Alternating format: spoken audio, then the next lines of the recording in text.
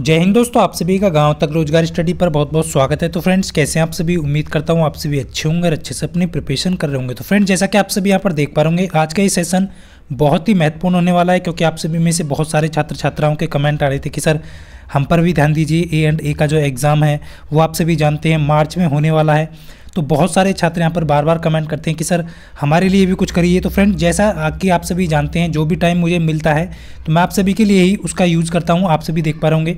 इससे पहले मैं आप सभी को तीन पार्ट करा चुका हूँ। गुड इवनिंग सभी को, जय हिंद। तो फटाफट से सभी कैंडिडेट जो है, देखिए एक बार सेशन को सभी जो है शेयर कर देंगे। आज का ही आपके सामने जो है थर्ड पार्ट है और आप सभी देख पा रहे होंगे, भले ही मैं यहाँ पर आपके लिए 20 क्वेश्चन लेकर के आता हूँ बट इसके जो फैक्ट निकलते हैं, उससे लगभग आपके 40 प्रश्न यहाँ पर आपके जो है, तीस से चालीस प्रश्न तैयार हो जाते हैं। तो इस चीज़ को यहाँ पर सभी कैंडिडेट ध्यान देंगे और हर किसी फैक्ट को आपको नोट करना है। जो भी इससे रिलेटेड फैक्ट मैं आपको बताता हूँ, आप सभी को उसे नोट ज़रूर करना है।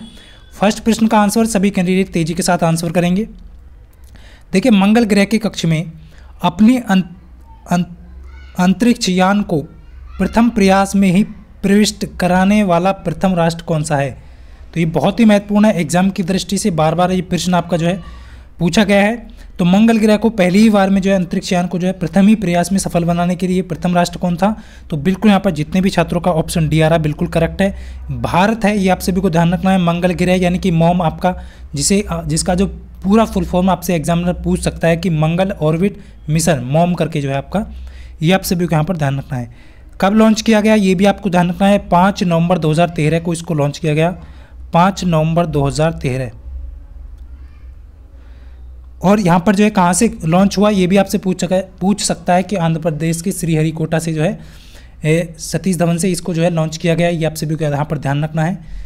और इसने जो है कक्षा में कब प्रवेश किया तो इसने जो है 24 सितंबर 2014 को जो है कक्षा में प्रवेश किया। ये आपसे नहीं पूछा जाने वाला, बट आपको लॉन्चिंग डेट ध्यान रखनी है और कौन सा राष्ट्र है, ये भी आपको यहाँ पर ध्यान रखना है। फटाफट से सेकंड क्वेश्चन का आंसर करेंगे सभी कैंडिडेट बिल्कुल, देखिए, यदि आपको, देखिए पीडीएफ जो है मैंने आप सभी का, सभी को डाल दिया है। आप सभी जो अच्छे से रिवाइज कर लेना मैथ के जितने भी, यहाँ पर दोनों क्लास आपकी जो है बहुत ही इंपॉर्टेंट है और इससे पहले भी जो मैं आपकी मैथ के सेशन ले चुका हूँ, देखिए उन सेशन को भी आप सभी लगा लीजिए, क्योंकि आप सभी ने देखा होगा पीछे जो मैंने टेक्नीशियन ए वालों के लिए और डिप्लोमा वालों के लिए जो यहाँ पर जो है, जो भी मैथ के यहाँ पर जो है सेशन प्रोवाइड किए हैं, उनको भी आप लगा लीजिए, उनमें से भी आपके प्रश्न जो है पूछे जा सकते हैं तो ये बहुत ही इंपॉर्टेंट है। और यहाँ पर जो है जियो का पूर्ण रूप पूछा गया है जी ओ जी ई ओ करके। तो जल्दी से फटाफट बताएँगे क्या हो जाएगा इसका करेक्ट आंसर बिल्कुल जितने भी कैंडिडेट का ऑप्शन बी आ रहा है जियो स्टेशनरी अर्थ ऑर्बिट इसका पूर्ण रूप हो जाएगा। जितने भी कैंडिडेट का ऑप्शन भी आ रहा है, बिल्कुल करेक्ट हो जाएगा। Geostationary earth orbit. देखिए, इस थर्ड क्वेश्चन आपके सामने है। फटाफट से सभी कैंडिडेट आंसर करेंगे। तेज़ी के साथ सभी कैंडिडेट आंसर करें, बहुत तेज़ी के साथ। कि गांधी शांति जो पुरस्कार है, ये हर वर्ष दिया जाने वाला है तो वार्षिक पुरस्कार है, जैसा कि आप सभी जानते हैं तो किसको दिया जाता है, ये आपसे पूछा गया है। एक वार्षिक पुरस्कार है, और किसको दिया जाता है, ये आपसे पूछा है, फटाफट से आंसर करें, बिल्कुल। देखिए, कुछ कैंडिडेट का डिफरेंट आंसर आ रहा है तो ध्यान रखना फ्रेंड्स व्यक्तियों और संस्था दोनों को दिया जाता है, गांधी शांति पुरस्कार, इस चीज़ का आप सभी को यहाँ पर ध्यान रखना है। इसकी शुरुआत कब की गई तो उन्नीस सौ चौरानवे को इसकी शुरुआत की गई, ये आप सभी को यहाँ पर ध्यान रखना है एक सौ पच्चीसवें जन्मदिन पर। गांधी जी के एक सौ पच्चीसवें जन्मदिन पर इसकी शुरुआत की गई थी। तो इस चीज़ का सभी कैंडिडेट ध्यान देंगे। देखिए, नेक्स्ट क्वेश्चन आपके लिए बहुत ही इंपॉर्टेंट है कि बोकारो स्टील प्लांट जो है, वो कहाँ है? Bokaro steel plant. फटाफट से आंसर करेंगे सभी कैंडिडेट। बिल्कुल, तेज़ी के साथ आंसर करें सभी कैंडिडेट। तो बिल्कुल यहाँ पर झारखंड जो है, सभी कैंडिडेट का ऑप्शन ज़्यादातर कैंडिडेट का बिल्कुल सही है, ऑप्शन ए करेक्ट हो जाएगा। तो झारखंड में जो है आपके बोकारो स्टील प्लांट है। इस चीज़, इससे रिलेटेड कुछ क्वेश्चन आपके पूछे जाते हैं फ्रेंड्स। वो आपको ध्यान रखना है कि बोकारो जो स्टील प्लांट है, जो आपकी झारखंड में है, ये जो है आपका किसके सहयोग से स्थापित किया गया? तो ये आप सभी को यहाँ पर ध्यान रखना है। बहुत ही इंपॉर्टेंट है। एक तो कौन सी योजना में? तृतीय पंचवर्षीय योजना में। थर्ड जो आपकी पंचवर्षीय योजना थी, उसमें इसको स्थापित किया गया। ये आप सभी को ध्यान रखना है, किसके सहयोग से? रूस के सहयोग से इसको स्थापित किया गया।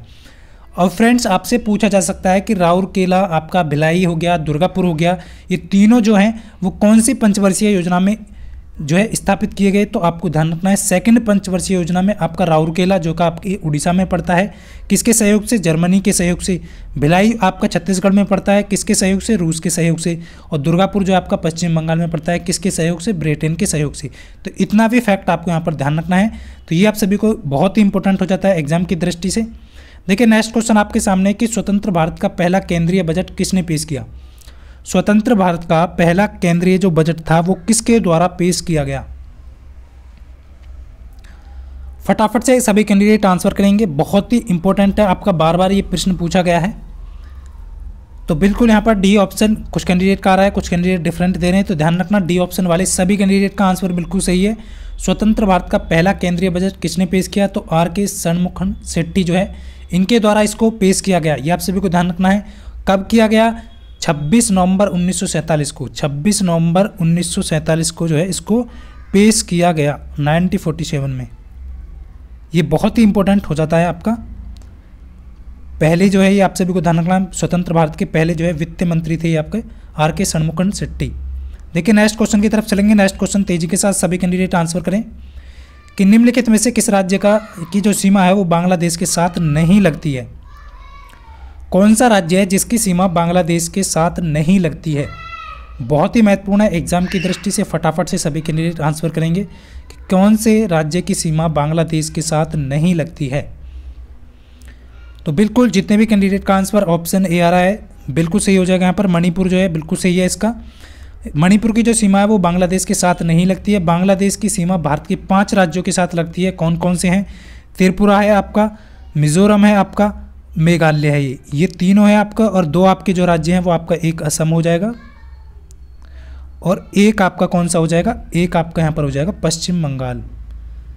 वेस्ट बंगाल, इस चीज़ को यहाँ पर ध्यान रखेंगे। वेस्ट बंगाल। तो ध्यान रखेंगे सभी कैंडिडेट वेस्ट बंगाल और असम तो इस चीज़ का सभी कैंडिडेट को ध्यान रखना है। ये पाँच राज्य की सीमा बांग्लादेश के लगती, के साथ लगती है और भारत का जो सबसे लंबी स्थलीय सीमा जो बांग्लादेश की जो भारत के साथ लगती है, ये आप सभी को ये भी ध्यान रखना है कि चार हज़ार छियानवे किलोमीटर की जो सीमा है, स्थलीय सीमा लगभग जो है भारत के साथ लगती है इसकी स्थलीय सीमा। बहुत ही इंपॉर्टेंट है। देखिए नेक्स्ट है आपका, सबसे कम बिल्कुल अफ़गानिस्तान की लगती है, ध्यान रखना है सभी कैंडिडेट को। 106 किलोमीटर के आसपास है। जो कि अफगान, अफ़गानिस्तान से सबसे कम सीमा रखती है भारत की। देखिए नेक्स्ट प्रश्न है, जल्दी से फटाफट आंसर करेंगे सभी कैंडिडेट निम्नलिखित में से किस समिति का जो संगठन है, गठन जो है बैंकिंग क्षेत्र में सुधार के हेतु किया गया? देखिए, कौन सी समिति जो है बैंक से संबंधित है, ये आप सभी को ध्यान रखना है तो आप सभी के लिए बिल्कुल जितने भी कैंडिडेट का आंसर आ रहा है सी ऑप्शन नरसिम्हन समिति जो है और इसका जो है बैंकिंग क्षेत्र में सुधार से संबंधित इसका गठन किया गया ये आप सभी को ध्यान रखना है। कब किया गया? उन्नीस सौ इक्यानवे में इसका जो है, गठन किया गया। पहली बार जो है, उन्नीस सौ इक्यानवे में और दूसरी बार भी इसको जो है, उन्नीस सौ अट्ठानवे में। तो ये दोनों डेट आपको फिक्स रखनी है फ़र्स्ट टाइम और सेकेंड टाइम ये इसके लिए है। अब आप फ्रेंड्स जो, बाकी जो समिति हैं, उनको भी यहाँ पर देख लेते हैं। आपके लिए बहुत ही इंपॉर्टेंट हो जाती हैं। देखिए नेक्स्ट आपका स्वामीनाथन जो समिति है, आपकी वो किससे संबंधित है? किसकी जाँच और क्षेत्र से संबंधित है? तो जनसंख्या नीति की जाँच के लिए जो है, इसका संबंध है स्वामीनाथन समिति का। इस चीज़ को आपको सभी कैंडिडेट को ध्यान रखना है। राजा चेलिया समिति जो है, वो आपका कर सुधार की जाँच से संबंधित थी, ये आप सभी को ध्यान रखना है। मल्होत्रा जो समिति है, वो आपकी बीमा क्षेत्र में सुधार से संबंधित है, बहुत ही इंपॉर्टेंट है। मल्होत्रा समिति जो है, ये आपकी इंपॉर्टेंट है, और कर सुधार वाली भी। और तेंदुलकर समिति जो वो गरीब रेखा स्तर पर जो है, ये भी आपका इंपॉर्टेंट है। रेखा स्तर पर आंकलन जो हेतु जो है इसकी इसका जो है गठन किया गया। इस चीज़ को यहाँ पर सभी कैंडिडेट ध्यान देंगे। सभी की सभी जो समितियाँ जितनी की जितनी, पाँचों के पाँचों, बहुत ही इंपॉर्टेंट है, आपको ध्यान रखना है, बहुत ही अच्छा प्रश्न था आपके लिए। अब देखिए नेक्स्ट जो क्वेश्चन है, वो बहुत ही इंपॉर्टेंट है। देखिए नेक्स्ट क्वेश्चन आपका क्या कह रहा है कि भारतीय संविधान के अनुसार कितनी भाषाओं को कार्यकारी भाषा का दर्जा दिया गया? फटाफट से जितने भी कैंडिडेट को यदि सेशन अच्छा लगता है तो वीडियो को लाइक ज़रूर क्या करें सभी मित्र, जितने भी जुड़े हुए हैं। देखिए, मेरा उद्देश्य है कि आपको अच्छा से अच्छा जो कंटेंट है वो प्रोवाइड कर सकूँ और जहाँ से प्रश्न ज़्यादातर पूछे जाते हैं डी में, वही प्रश्न ज़्यादातर मैं आपको करा रहा हूँ। आप सभी ने देखा होगा, पिछले भी जो जितने भी क्वेश्चन कराए हैं, ज़्यादातर क्वेश्चन यहीं से फंसे गए हैं। तो बिल्कुल होकर के आप निश्चित रहिए। देखिए, यहाँ पर जो है, आप सभी देख पा रहे होंगे, संविधान के अनुसार जो है, बिल्कुल जितने भी कैंडिडेट का ऑप्शन सी आ रहा है बाईस भाषाओं को जो है कार्य यानी ऑफिशियल भाषा का दर्जा दिया गया है और ये आप सभी को ध्यान रखना है कि इसकी, ये जो है कौन सी अनुसूची में जो है आपकी भाषाएँ हैं, बाईस भाषा वो आठवीं अनुसूची में है। ये भी आपको ध्यान रखना है, आठवीं अनुसूची में आपकी जो है बाईस भाषाएँ हैं, ये आपको यहाँ पर ध्यान रखना है। और मूल मूल रूप से जो है आठवीं अनुसूची में पूछा जाए तो चौदह भाषा थी, लेकिन अब प्रेजेंट टाइम पे जो है आपकी बाईस भाषाएँ आठवीं अनुसूची में। देखिए, नेक्स्ट क्वेश्चन आपके सामने है, फटाफट से सभी कैंडिडेट आंसर करेंगे। बिल्कुल, मैथ का जो सेशन है, वो भी आपको जो है, इसके बाद मैथ मैथ का भी लेकर आता रहूँगा। जैसे ही टाइम मिलेगा तो आपको मैथ को भी प्रोवाइड करता रहूँगा। और मैथ का भी टॉपिक वाइज मैं आप सभी को करा चुका हूँ। अब देखिए एस का जो भी प्रश्न आपका, एक भी प्रश्न वहाँ से बाहर नहीं जाने वाला है, जितने भी कैंडिडेट ने यहाँ पर लगा रखा है। उससे पहले जो भी मैथ के मैंने सेशन प्रोवाइड कर रखे हैं, सारे का प्लेलिस्ट बना हुआ है। प्लेलिस्ट में जाकर के सभी कैंडिडेट ज़रूर लगाएँ उन प्रश्नों को, क्योंकि एग्ज़ाम की दृष्टि से सभी प्रश्न बहुत ही महत्वपूर्ण है। बिल्कुल, यहाँ पर देखिए भारतीय संविधान के अनुसार अटॉर्नी जनरल का जो कार्यकाल कितने वर्षों का है तो ये आप सभी को ध्यान रखना है। बहुत सारे कैंडिडेट यहाँ पर गलती करते हैं तो अनिश्चित काल है, ये आप सभी को यहाँ पर ध्यान रखना है। अटॉर्नी जनरल आप सभी को ध्यान रखना है महान्यायवादी जो है भारत का, वो क्या होता है, आपका एक प्रथम प्रथम भारत, प्रथम जो है, भारत का प्रथम विधि अधिकारी होता है, यानी कानून अधिकारी जो होता है, ये आप सभी को ध्यान रखना है महान्यायवादी जो कि अटॉर्नी जनरल जो है। और इसका जो उल्लेख किया गया है, ये आप सभी को ध्यान रखना है आर्टिकल क्षेत्र में इसका जो है नियुक्ति का प्रावधान है, योग्यता है, वेतन, कार्य से संबंधित जो है उल्लेख किया गया है। ये आप सभी को ध्यान रखना, बहुत ही इंपॉर्टेंट हो जाता है और ये राष्ट्रपति की प्रसाद पर्यंत जो अपने पद पर रहते हैं, ये आप सभी को यहाँ पर ध्यान रखना है। मंत्रिमंडल की सलाह पे जो है इनको नियुक्त किया जाता है। सॉरी मंत्री परिषद की हाँ मंत्री परिषद की सलाह पर जो है इनको नियुक्त किया जाता है। देखिए नेक्स्ट प्रश्न आपके सामने बहुत अच्छे से सभी कैंडिडेट बताएँगे। कौन सा भारतीय राज्य सोयाबीन का सबसे बड़ा उत्पादक राज्य है? मंत्रिपरिषद होगा, बिल्कुल। देखिए, भारतीय राज्य सोयाबीन का सबसे बड़ा उत्पादक राज्य कौन सा है? जल्दी से फटाफट आंसर करेंगे सभी कैंडिडेट।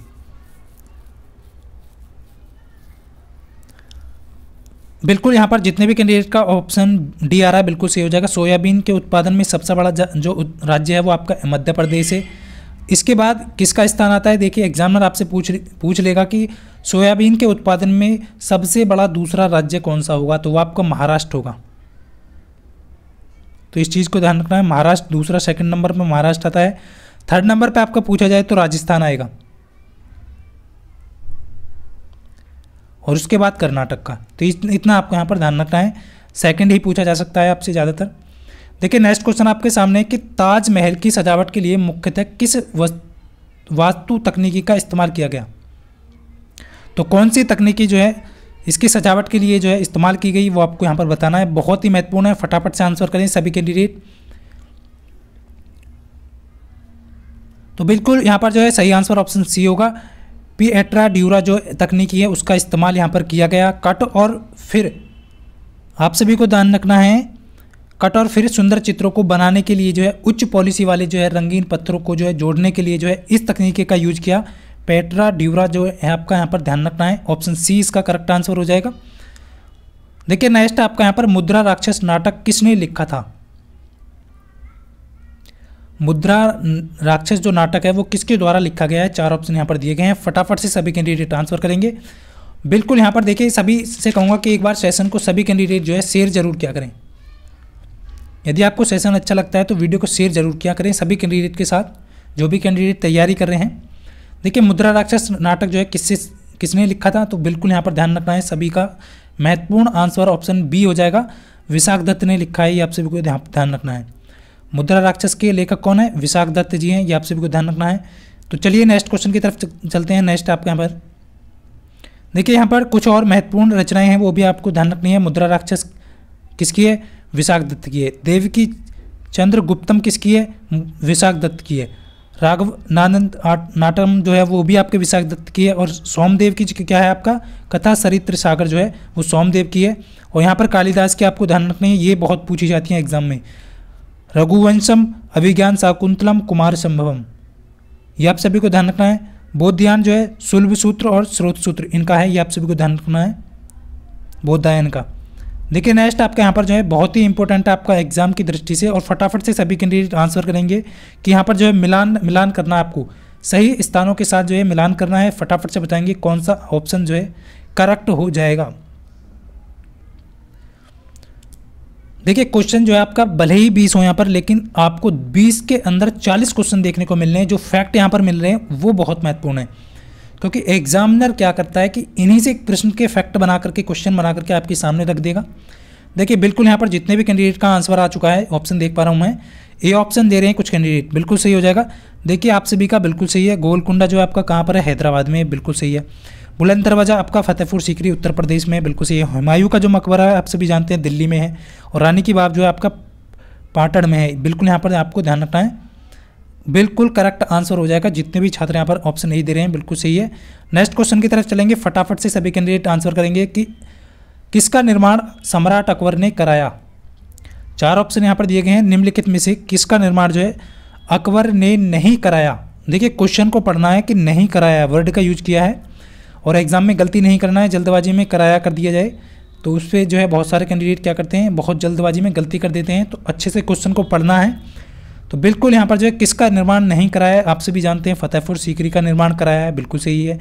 ये तो नहीं होगा, बुलंद दरवाज़ा भी नहीं होगा। जामा मस्जिद का निर्माण दिल्ली में जो है और आगरा किला, आगरा किले का भी करवाया है, अकबर ने ही। बट अब सही जो आंसर होगा, दिल्ली का जामा मस्जिद जो है, इसका निर्माण जो है, वो अकबर ने नहीं कराया है। किसने कराया है? शाहजहाँ ने कराया था। दिल्ली का लाल किला, दिल्ली की जामा मस्जिद, ये आप सभी को ध्यान रखना है और आगरा की जो है आप सभी को ध्यान आगरा की जब आगरा की जो मस्जिद है, उसका निर्माण भी जो है शाहजहाँ ने कराया है। तो ये आप सभी के लिए बहुत ही महत्वपूर्ण है। तो बहुत ही इंपॉर्टेंट हो जाता है एग्ज़ाम की दृष्टि से। और एक और पूछा जाता है आपका एग्ज़ाम में कि जहांगीर महल जो है वो किसने बनवाया था? तो वो भी आपका जो है अकबर ने बनवाया है, जहांगीर महल को भी, जिसका निर्माण जो आगरा में किया हुआ है। देखिए नेक्स्ट क्वेश्चन की तरफ़ चलेंगे। नेक्स्ट क्वेश्चन जो है बिल्कुल सही आपके सामने। कि मात्रा के संदर्भ में और आज के इस सेशन से आपको कितने प्रश्न जो है कितने प्रश्नों के आपने बिल्कुल सही जवाब दिए, वीडियो के लास्ट में ज़रूर कमेंट करके बताना है सभी कैंडिडेट को। मात्रा के संदर्भ में विश्व की सबसे बड़ी मीठे झील की जो है, कौन सी झील है? सबसे बड़ी। देखिए, मात्रा के संदर्भ में आपसे पूछा है आपको। तो सबसे बड़ी मीठे जल की झील कौन सी है? तो आप सभी को यहाँ पर ध्यान रखना है, बेकाल झील जो है ऑप्शन सी इसका करेक्ट होगा। जब आपसे पूछी जाए, सबसे गहरी, सबसे पुरानी और मीठे जल की तो आपको बेकाल झील यहाँ पर लगाना है, मात्रा के संदर्भ में। और फ्रेंड्स इसकी जो है, आप सभी को लंबाई भी ध्यान रखनी है छः सौ जो है छः सौ तिरसठ जो है कर छत्तीस छः सौ छत्तीस किलोमीटर जो है इसकी लंबाई है, आप सभी को यहाँ पर ध्यान रखना है। और 20 परसेंट, दुनिया का 20 परसेंट मीठा पानी जो है, इसी झील में आपको मिलता है, ये आप सभी को यहाँ पर ध्यान रखना है। अब एग्जामिनर क्या करेगा फ्रेंड्स यहाँ से कुछ कैंडिडेट जो है, कहेंगे कि, सर, आपने तो हमें बेकाल झील बताया था। देखिए, ये सबसे बड़ी मीठे जल की झील है, सबसे गहरी है, सबसे पुरानी है। बट एग्जामिनर कहे कि दुनिया की सबसे बड़ी झील। दुनिया की सबसे बड़ी झील खाली आपसे कहे तो आपको लगाना है कैस्पियन सागर। जो आपका कैस्पियन सागर यहाँ पर दिया गया है, वो आपको लगानी है। सबसे बड़ी झील खाली पूछे आपसे तो कैस्पियन सागर होगी। और यदि आपसे पूछे क्षेत्रफल की दृष्टि से सबसे बड़ी, ताजे पानी की तो वो होगी आपकी सुपीरियर झील। तो यहाँ पर एग्जामिनर जो है तीन टाइप से आपके क्वेश्चन पूछता है। आप सभी को ध्यान रखना है। यदि क्षेत्रफल की दृष्टि से सबसे बड़ी ताजे पानी की झील पूछे तो आपका सुपीरियर झील राइट आंसर होगा। यदि आपसे सबसे बड़ी दुनिया की सबसे बड़ी पूछे तो कैस्पियन सागर होगा। यदि आपसे मीठे जल की पूछे तो आपका बैकाल झील होगा। इस चीज़ को यहाँ पर ध्यान रखेंगे सभी कैंडिडेट क्योंकि यहाँ पर जो है एग्ज़ाम में यदि आप गलती कर जाएँगे तो आप जो है सलेक्शन से चूक सकते हैं। और मैं नहीं चाहता कि आपका सलेक्शन जो है इस बार से आप सिलेक्शन से चूकें। क्योंकि इस बार जो आपके सपने हैं, आपने जो भी ड्रीम बना रखा है, उसको आप हर हार में हासिल करें। क्योंकि हर एक कैंडिडेट का उद्देश्य होता है कि वो इसी साल जो है अपने आपके जो माता पिता के सपने हैं, उनको पूरा करे और पूरा मेहनत करता है अपनी तरफ़ से। लेकिन क्या होता है कि एग्ज़ाम के टाइम पे छोटी छोटी गलतियों से जो है, हम जो है सिलेक्शन से चूक जाते हैं। तो इस चीज़ को सभी कैंडिडेट को ध्यान रखना है। बिल्कुल भी जल्दबाजी में गलती नहीं करनी है। 2011 की जनगणना के अनुसार जो है नेक्स्ट क्वेश्चन का आंसर करेंगे कि सर्वाधिक आबादी वाली आदिवासी सॉरी यहाँ पर सर्वाधिक जो आबादी आबादी जो है वो निवास करती है, किस राज्य में? आदिवासी आबादी जो है, किस निवास, राज्य में जो है निवास करती है? किरक हौसला तेरी भी उड़ान होगी। किरक हौसला तेरी भी उड़ान होगी। देखेगी सारी दुनिया कितनी तेरी ऐसी पहचान होगी।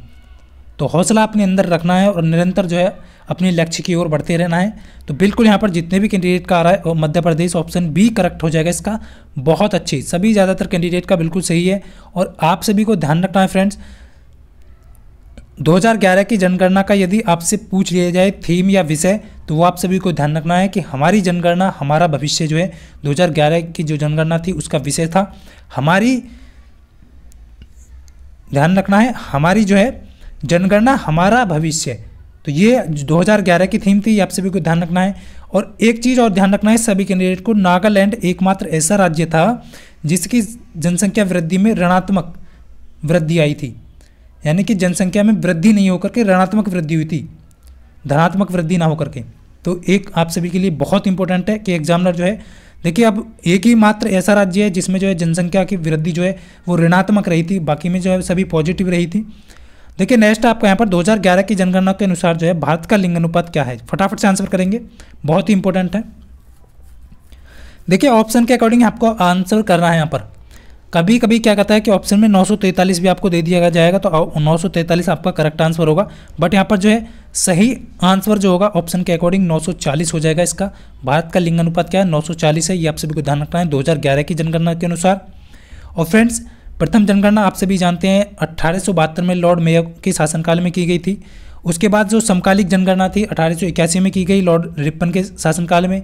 उसके बाद जो है, आप सभी जानते हैं कि स्वतंत्र भारत की पहली जनगणना उन्नीस सौ इक्यावन में हुई हुई थी।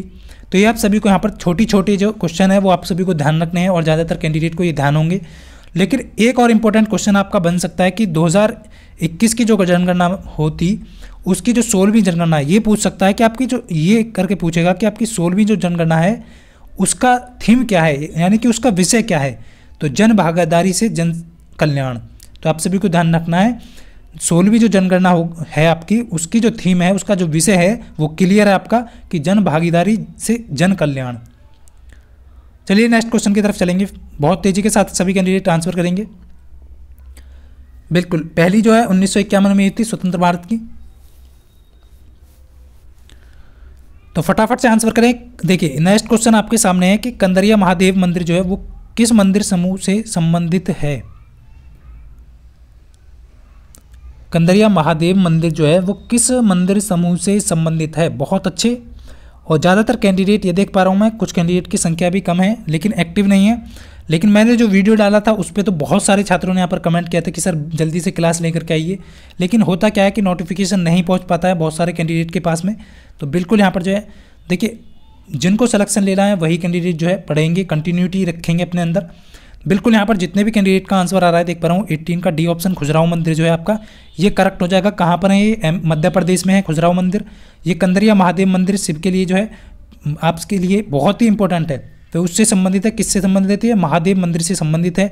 ये आप सबके लिए बहुत इंपॉर्टेंट है, क्योंकि इसको जो है, उन्नीस सौ छियासी में जो है, विश्व धरोहर सूची में शामिल किया गया था। इसलिए एग्ज़ाम में ज़्यादातर पूछा जाता है। देखिए नेक्स्ट आपका क्वेश्चन है कि फनी या फानी कोई भी हो सकता है फनी या फानी एक प्रकार का जो है, क्या है? कैसा चक्रवात है ये आपसे पूछा गया है? ध्रुवीय चक्रवात है आपका, या फिर आपका उष्ट कटबंधीय चक्रवात है, या फिर मध्य चक्रवात है, या फिर ध्रुवीय चक्रवात है? बहुत ही इंपॉर्टेंट है परीक्षा की दृष्टि से। बिल्कुल कुछ कैंडिडेट का आंसर आ चुका है। देखिए, यहाँ पर कुछ कैंडिडेट डिफरेंट आंसर कर रहे हैं। तो उष्ट कटिबंधीय चक्रवात है, ये फनी एक प्रकार का क्या है? उष्ट कटिबंधीय चक्रवात है। उष्ट कटिबंधीय चक्रवात होता क्या है फ्रेंड्स करक रेखा और मकर रेखा के बीच उत्पन्न होने वाला चक्रवात ही आपका उष्ट कटिबंधीय चक्रवात होता है और ये उड़ीसा के तट से टकराया था। इसी का नाम जो है, वो आप सभी को ध्यान रखना है। बांग्लादेश ने यहाँ पर जो है, दिया है इसका नाम फनी जो है। ऑप्शन जो है, बी इसका करेक्ट आंसर हो जाएगा। देखिए नेक्स्ट आपका भारत का स्टैचू ऑफ़ यूनिटी। एग्ज़ाम की दृष्टि से इंपॉर्टेंट है और सभी कैंडिडेट ये लास्ट में ज़रूर बताएँ कि आपका जो स्कोर आज कितना रहा और इस क्वेश्चन का सही आंसर क्या होगा? और इस स्टैचू ऑफ़ यूनिटी की जो हाइट है, वो कितनी है, ये भी आपको बताना है फ्रेंड्स, और ये कहाँ पर है? तो उम्मीद करता हूँ फ्रेंड्स, आज का ये सेशन यदि आपको अच्छा लगा हो तो वीडियो को लाइक ज़रूर करें और अपने सभी दोस्तों के साथ शेयर करें। और इसका जो पीडीएफ है, वो आपको टेलीग्राम लिंक कमेंट बॉक्स में दिया गया है, वहाँ से जाकर के सभी कैंडिडेट डाउनलोड करके उसे रिवाइज कर सकते हैं। तो मिलता हूँ नेक्स्ट वीडियो में, तब तक के लिए सभी को जय हिंद बंदे मातरम।